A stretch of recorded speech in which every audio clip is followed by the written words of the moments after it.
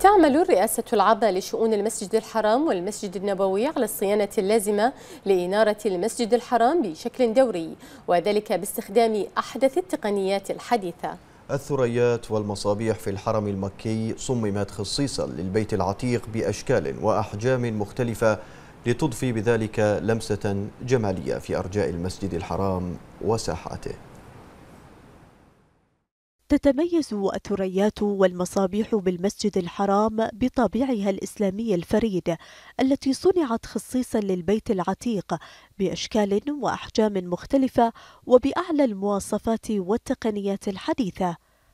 ويحتوي المسجد الحرام على أكثر من 500 ثريا مختلفة الأشكال والأحجام والتي كتب على عدد منها آيات قرآنية بخطوط فنية وزخرفية.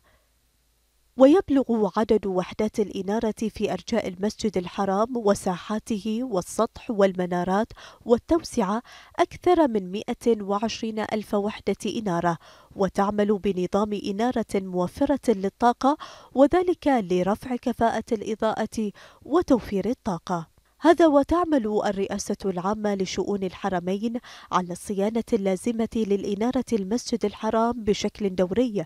تشمل أعمال التلميع والتأكد من عمل الكشافات وتوصيلاتها بشكل دائم كما تقوم الرئاسة وبشكل شهري بصيانة ثريات حجر إسماعيل الثلاث لتضفي لمسة جمالية تضيء أرجاء المسجد الحرام وساحاته وسطحه ومناراته والتوسعة السعودية.